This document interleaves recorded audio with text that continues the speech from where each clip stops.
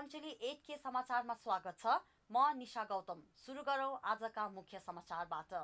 नवरात्रको सातौँ दिन कालरात्रि देवीको पूजा आराधना गरिँदै हकिबका परिवारलाई क्षतिपूर्तिका लागि सिफारिस। देवी प्रतिमा सर्वसाधारणको दर्शनको लागि खुला। डडेलधुरामा बस दुर्घटना सोह्रजना घाइते। बढ्यो चार पाङ्ग्रेको आयत। अब समाचार विस्तारमा। नवरात्रको सातौँ दिन दसैँ घर वा पूजा कोठामा नौ दुर्गा मध्येकी सातौँ कालरात्रि देवीको विधिपूर्वक पूजा आराधना गरिँदैछ। प्रत्येक वर्ष आश्विन शुक्ल सप्तमी अर्थात् दुर्गा पक्षको सातौँ दिन कालरात्रि देवीको विधिपूर्वक पूजा आराधना गर्ने वैदिक सनातनी परम्परा छ। प्राणी मात्रलाई कालले नष्ट पार्दछ त्यस्तो काललाई पनि भगवती देवीले नष्ट गरिदिन्छन् भन्ने मान्यता देखिन्छ। यस्ती देवीको स्वरूपलाई कालरात्रि भनिन्छ। कालरात्रि कृष्ण वर्णका हुनुका साथै यिनी भयङ्कर आकृतिको हुन्छन् भन्ने विभिन्न पुराणमा समेत उल्लेख गरिएको पाइन्छ। जिल्ला प्रहरी कार्यालय सुनसरीका हिरासतमा आत्महत्या गरेका हकिब मियाको परिवारलाई क्षतिपूर्तिका लागि गृह मन्त्रालयमा सिफारिस गरिएको छ। प्रमुख जिल्ला अधिकारी इन्द्रदेव यादवका अध्यक्षमा जिल्ला प्रशासन कार्यालय सुनसरीमा सोमबार सम्पन्न सरकारवालाको बैठकले सो सिफारिस गरिएको सहायक प्रमुख जिल्ला अधिकारी महेश कुमार पोखरेलले जानकारी दिनुभयो। भोकराहा नरसिंह गाउँपालिका पाँचका मियाले गत आइतबार आत्महत्या गरेको बताइएको छ। बैठकले हकिबले आत्महत्या गरेका विषयमा छानबिन गर्ने र कोही दोषी देखिए आवश्यक कारवाही गर्ने घटनाको सत्य तथ्य सार्वजनिक गर्ने र सामाजिक सद्भाव कायम गर्ने निर्णय गरेको सहायक प्रजीय पोखरेलले बताउनुभयो।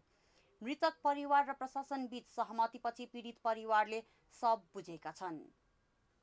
महोत्तरी सहितका मिथिला क्षेत्रमा आज नवनिर्मित देवी प्रतिमा सर्वसाधारणको दर्शनका लागि खुला गरिएका छन्। मिथिलामा शारदीय नवरात्रको अवसरमा निर्मित दुर्गा भवानीका प्रतिमा आज महासप्तमी फुलपातीका दिन बेलको भेट्नुले खोस्रेर आँखा खोलिएसँगै सर्वसाधारणका दर्शनका लागि खुला गरिएको छ। बेलको भेट्नुले आँखा खोस्रेर उघारेपछि शास्त्रोक्त विधिले प्रतिमाको प्राण प्रतिष्ठा गरेपछि देवीको मूर्तिमा साक्षात अवतरित हुने विश्वास गरिन्छ। धनगढीबाट बाजुरा जाँदै गरेको ना सात ख एक सात चार नम्बरको बस केआई सिंह राजमार्ग अन्तर्गत अमरगढी नगरपालिका दस राई बजार नजिकै दुर्घटना हुँदा सोह्रजना घाइते भएका छन्। घाइते हुनेमा छ महिला दुई बालबालिका र आठ पुरुष छन्। बसको ब्रेक फेल भएर आज बिहान दुर्घटना भएको जिल्ला प्रहरी कार्यालयका प्रमुख प्रहरी नायब उपरीक्षक महेन्द्र नेपालले जानकारी दिनुभयो। बसमा लगभग पचासदेखि साठी यात्रु रहेका र सामान्य घाइतेको डडेलधुरा अस्पतालमा उपचार भइरहेको उहाँले जानकारी गराउनुभयो। दसैँ तिहार लगायतका चाडपर्वसँगै देशमा चार पाङ्ग्रे सवारी साधन जीप कार र भ्यानको आयात बढेको पाइएको छ। गत वर्ष चाडपर्वमा कोभिड उन्नाइसको प्रकोप कायमै थियो। अहिले कोभिड उन्नाइसको प्रकोप सामान्य बन्दै गएको अवस्थामा चार पाङ्ग्रेको किनबेचले प्राथमिकता पाएको हो। वीरगञ्ज भन्सार कार्यालयका अनुसार चाडपर्व लक्षित गरी गत साउन र भदौमा कुल एक हजार छ सय बहत्तरवटा सवारी साधन उक्त नाका हुँदै आयात भएको देखिन्छ। सो अवधिमा चार पाङ्ग्रे सवारी साधन आयातबाट कुल पाँच अर्ब बाइस करोड बहत्तर लाख एकसठी हजार बराबरको राजस्व सङ्कलन भएको कार्यालयका सूचना अधिकारी सुमित गुप्ताले जानकारी दिनुभयो।